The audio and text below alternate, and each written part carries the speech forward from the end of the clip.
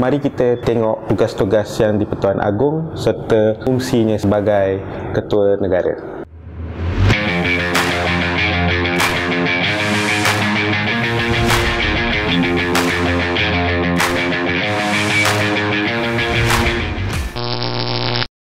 Tanggal 30 Julai 2019 telah dipilih sebagai Hari Pertabalan yang di Pertuan Agong. Okey, nak tahu sedikit sebanyak tentang apa fungsi yang di Pertuan Agong?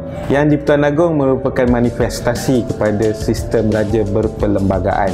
Uniknya Malaysia ni dan sistem yang di Pertuan Agong ni dipilih 5 tahun sekali dengan sistem bergila. Satu-satunya negara di dunia yang mengamalkan sistem ini tak ada tempat lain. Pemilihan yang Pertuan Agong ni adalah manifestasi kepada sistem raja perlembagaan. Maknanya dalam sistem raja berperlembagaan ni raja tertakluk kepada undang-undang. Dia berbeza dengan monarki di mana kau kalau kau duduk kat negara monarki ni raja tu memang bersifat mutlak lah. Maknanya dia bersifat diktator lah. Tapi kalau macam raja berperlembagaan ni dia masih kena mengikut undang-undang. Kalau dia langgar undang-undang dia pun boleh didakwa. Uniknya kita punya sistem penggiliran yang di Pertuan Agong ni ialah kita adalah satu-satunya negara di dunia yang mengamalkan sistem penggiliran diraja maknanya negara-negara lain pun tak ada sistem yang macam ni. Malaysia ada 9 orang raja dan setiap 5 tahun sekali akan memilih yang di Pertuan Agong yang baru. Tahun ini ialah giliran Sultan dari negeri Pahang iaitu Sultan Abdullah Ahmad Shah. Baginda adalah yang di Pertuan Agong yang ke-16 menggantikan Sultan Muhammad kelima yang merupakan Sultan dari Kelantan. Raja-raja Melayu akan dipilih sebagai yang di Pertuan Agong setiap 5 tahun sekali mengikut sistem penggiliran. Yang di Pertuan Agong dipilih dalam mesyuarat Majlis Raja-Raja pada yang ke-251 yang berlangsung di Istana Negara.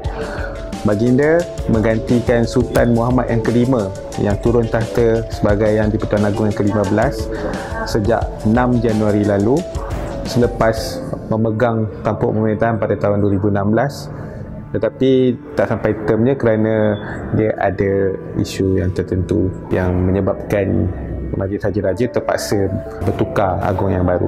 Negara kita mempunyai 9 orang raja dengan setiap raja mempunyai giliran selama 5 tahun menjadi yang di Pertuan Agong. Berikut adalah giliran-giliran dekat negeri-negeri tersebut. Negeri Sembilan, Selangor, Perlis, Terengganu, Kedah, Kelantan, Pahang, Johor dan akhirnya Perak.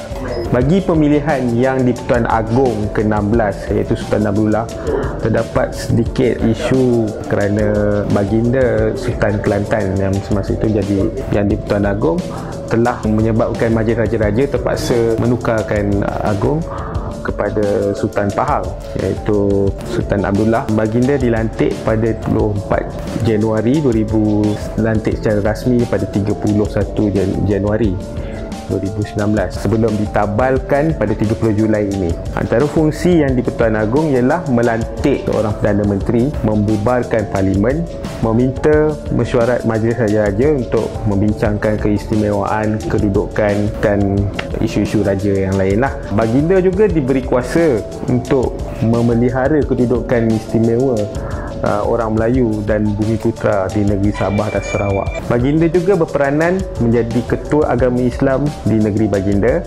Melaka, Pulau Pinang, Sabah, Sarawak serta wilayah persekutuan. Selaras dengan perkara 41 Perlembagaan Persekutuan yang di Pertuan Agong juga menjadi pemerintah tentera.